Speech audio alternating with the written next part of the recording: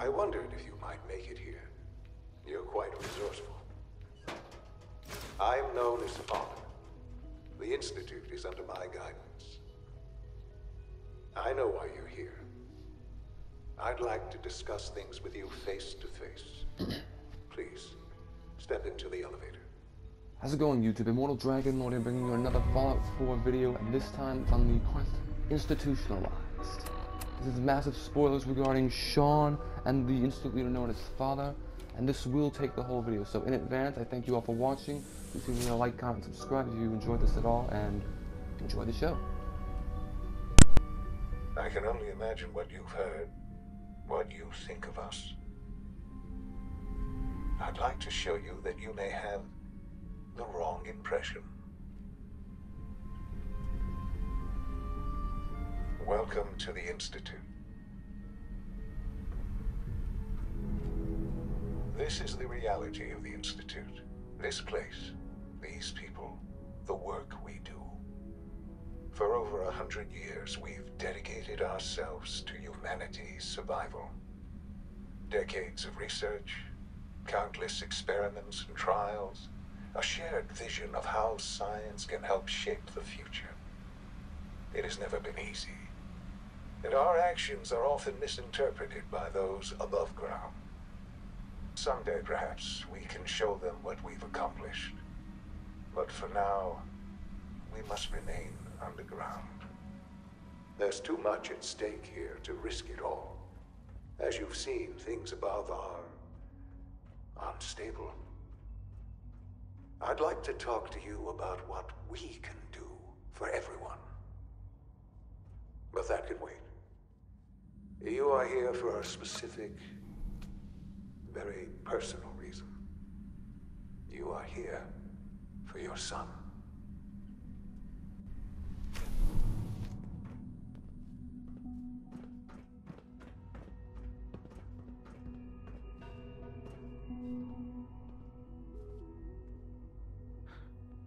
Shaun? Huh? Yes, I'm Shaun. Shaun?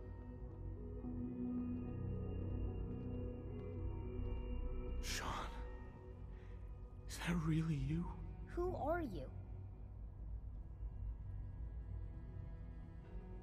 Shaun, it's me. I'm. I'm your dad. Father, what's going on? What's happening? Yes. What's going on? It's me. Father? Your dad. Father! I'm here, Shaun.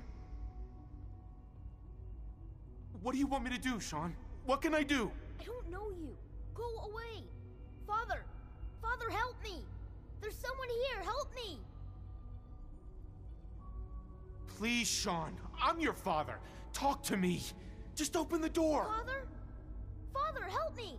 He's trying to take me! Father? Father, help me! Shaun. S923, recall code Cirrus. Fascinating, but disappointing. The child's responses were not at all what I anticipated. He's a prototype, you understand. We're only just now beginning to explore the effects of extreme emotional stimuli. Please try and keep an open mind. I recognize that you are emotional, and that your journey here has been fraught with challenges. Let's start anew. I am Father. Welcome to the Institute. I could kill you. Right here. Right now. Yes.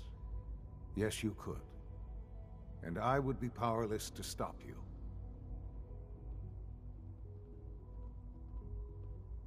I'll make this very simple. Where is my son? He's here, in the Institute. Closer than you think. But I need you to realize that this situation is far more complicated than you could have imagined. You have traveled very far, and suffered a great deal to find your son. Well, your tenacity and dedication have been rewarded. It's good to finally meet you. After all this time. It's me. I am Shaun. I am your son.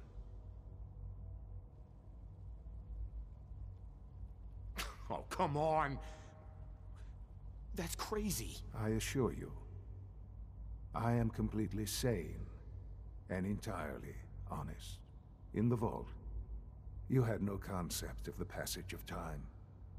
You were released from your pod and went searching for the son. You'd lost. But then you learned that your son was no longer an infant, but a ten-year-old boy. You believed that ten years had passed. Is it really so hard to accept that it was not ten, but sixty years? That is the reality. And here I am.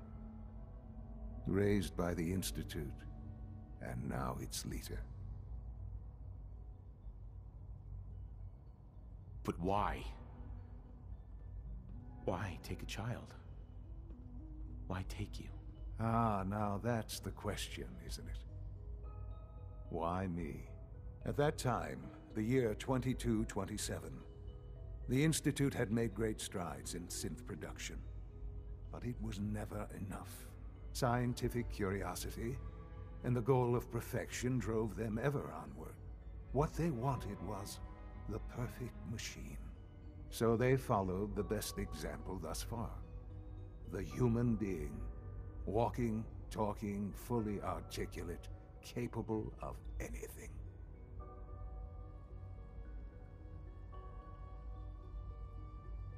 Human synths? Really? Human-like synths.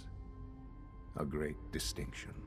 The Institute endeavored to create synthetic organics. The most logical starting point, of course, was human DNA. Plenty of that was available, of course. But it had all become corrupted. In this wasteland, radiation affected everyone. Even in their attempts to shield themselves from the world above, members of the Institute had been exposed. Another source was necessary. But then the Institute found me, after discovering records from Vault 111. An infant, frozen in time, protected from the radiation-induced mutations that had crept into every other human cell in the Commonwealth. I was exactly what they needed. And so it was my DNA that became the basis of the synthetic organics used to create every human-like synth you see today. I am their father. Through science, we are family. The synths, me, and you.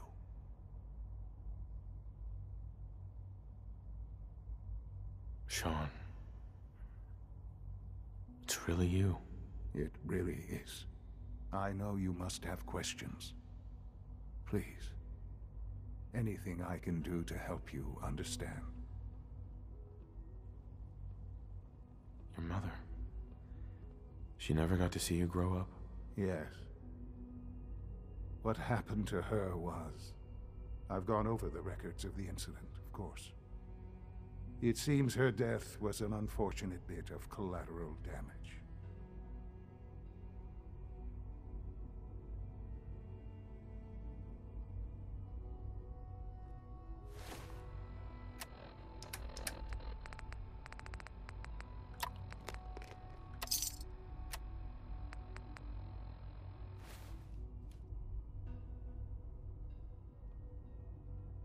Collateral damage?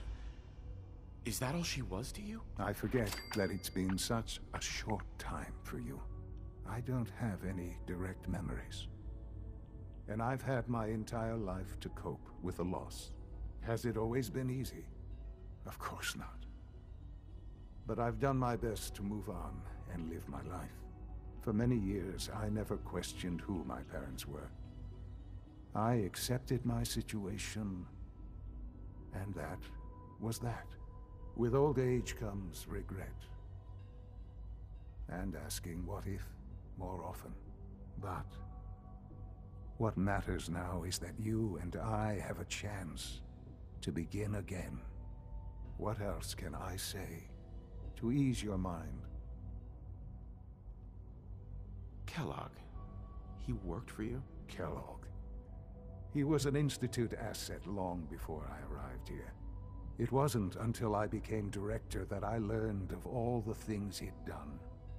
What kind of man he was. You knew the man was a psychopath, but you used him anyway? Would you have preferred that I turned him loose on the Commonwealth? At least keeping him on a short leash kept the collateral damage to a minimum. The Institute took advantage of Kellogg's vicious nature. I will freely admit that. Institute technology prolonged his life, and his usefulness far beyond any normal human lifespan. He never failed the Institute, but his cruelty became more apparent with every completed objective. I won't lie. It's no coincidence your path crossed his. It seemed a fitting way to allow you, us, to have some amount of revenge. What else can I say to ease your mind? So you're in charge of the Institute? I am the acting director, yes. I spent decades working to reach this point. It's a responsibility I take very seriously. The Institute. It's important. It really is humanity's best hope for the future, no matter what those above ground might think of us.